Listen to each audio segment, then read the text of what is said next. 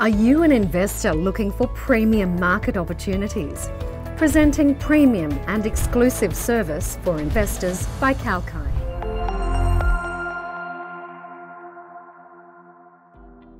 The recent attack on telecommunication giant Optus gave way to a frightening data security crisis.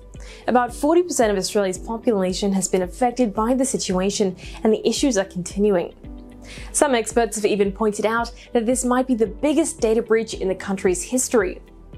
The leaked information includes date of birth, names, phone numbers, and in some cases, addresses and driver's license numbers. The company looked into the possibility of unauthorized access to customer information.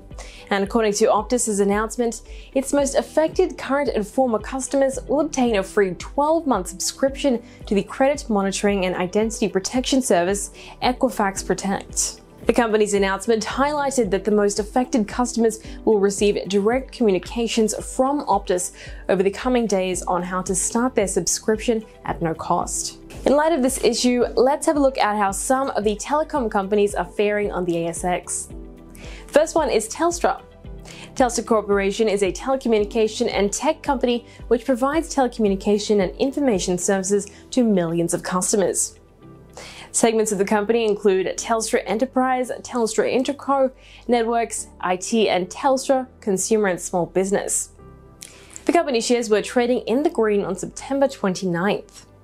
The shares were priced at around $3.88, and then on a year to date basis, the company's shares were down around 8.6%. Moving on, TPG Telecom. The Australian telecommunications company offers internet, mobile, and fixed line services to its customers, including residential users, small and medium enterprises, and government, plus large corporate enterprises and wholesale clients. TPG Telecom shares were trading in the green on September 29th. The shares were priced at around $4.89, and then on a year to date basis, the company shares were down by around 17%. And the last one to have a look at is Spark New Zealand.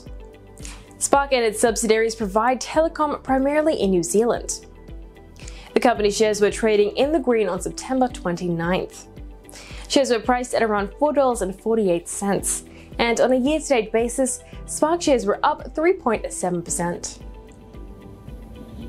Now that you're up to speed, remember to hit that bell icon and subscribe as well to stay up to date. I'm Holly Shields for Kalkine Media.